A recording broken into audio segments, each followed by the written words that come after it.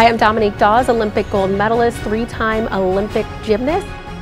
Well, I am here at the Ocean Casino Resort to kick off the pop-up Olympic medal bar. There's some signature Olympic themed cocktails and just having a lot of fun. I brought my Olympic gold medal and look forward to sharing in this Olympic moment. Just think how many people shared moments with their friends, with their families watching the Olympic Games. This is an opportunity to do this and it makes you really want to support Team USA and if you look at the photos on the walls it really does showcase all the different exciting Summer Olympic sports.